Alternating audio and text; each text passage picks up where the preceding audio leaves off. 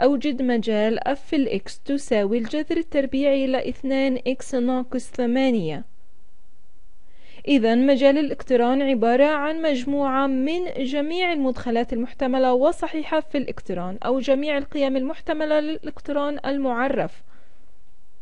وعندما ننظر إلى كيفية تعريف الاقتران هنا إنه جذر تربيع الجذر التربيعي لاثنان x ناقص ثمانية سيكون معرفا فقط عندما يأخذ الجذر التربيعي عدد غير سالب إذا اثنان x ناقص ثمانية سيكون معرفا فقط عندما يكون اثنان x ناقص ثمانية أكبر من أو يساوي صفر.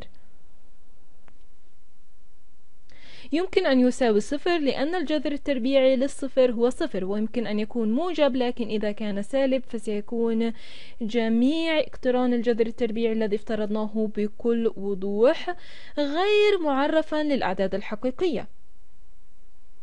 إذا هذا التعريف سيكون معرفا فقط عندما يكون 2 x ناقص 8 أكبر من أو يساوي صفر. عندما يكون 2 x ناقص 8 أكبر من أو يساوي صفر بالتالي يمكن أن نحل عدم المساواة هذه لنرى ما يقال عن القيم التي يجب أن تكون عليها x إذا إذا أضفنا 8 لكلا طرفي المعادلة سنحصل على يتم حذف هنا الثمانية هنا يتم حذف الثمانية نحصل على اثنان إكس أكبر أو تساوي ثمانية. هنا ثمانية زائد صفر تساوي ثمانية. ومن ثم نقسم كلا الطرفي المعادلة على اثنان بحيث اثنان عدد آه، موجب. ولا يتوجب علينا أن نعكس عدم المساواة إذ نقسم كلا الطرفين على اثنان. ونحصل على x أكبر أو تساوي أربعة.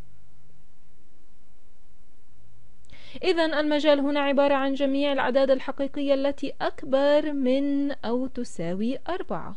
وانتهينا.